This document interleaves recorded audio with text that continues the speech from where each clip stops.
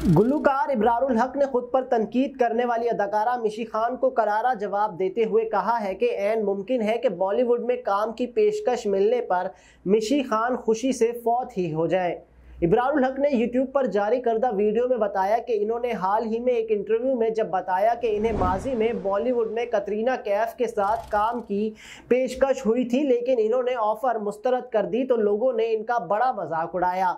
गुलकार का कहना था कि इनकी बात पर सबसे ज़्यादा मज़ाक पुरानी अदाकारा मिशी खान ने उड़ाया और इन्होंने इस तरह के जुमले इस्तेमाल किए जिनसे इन्हें काफ़ी तकलीफ़ पहुँची। इब्रारुल हक ने मिशी खान के रवैये पर इजहार अफसोस करते हुए कहा कि इन्होंने इन पर इस तरह तनकीद की जैसे वो पाकिस्तानी ही ना हो। गुलकार का कहना था कि इन्होंने ना तो किसी सियासी जमात में शमूलियत इख्तियार की थी और ना ही इन्होंने कोई जमात छोड़ी। इन्होंने बताया कि इन्होंने 12 साल कबल भी बॉलीवुड में काम की पेशकश पर बात की थी, जिसका क्लिप भी मौजूद है।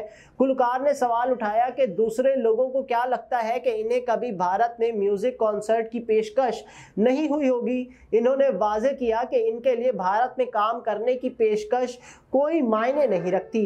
वो अपने मुल्क में बहुत सारे अस्पताल बना सकते हैं, बहुत सारे लोगों की मदद कर सकते हैं। इनका यहाँ काम करना ही इनकी सबसे बड़ी कामयाबी है।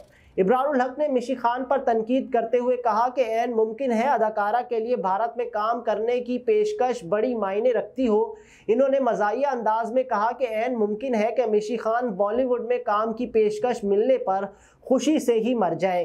इब्रारुल हक का मजीद कहना था कि ये कितनी मजाया और दिलचस्प बात होगी कि मिशी खान बॉलीवुड में काम करने की पेशकश पर ही फौत हो जाए। इससे कबल जब इब्रारुल हक ने इंटरव्यू में दावा किया था कि इन्हें बॉलीवुड में काम की पेशकश हुई थी तो मिशी खान ने गुलकार पर शदीद तनकीद करते हुए इन्हें जूठा करार दिया था और कहा था कि इनकी बात साल का सबसे बड़ा मज़ाक है।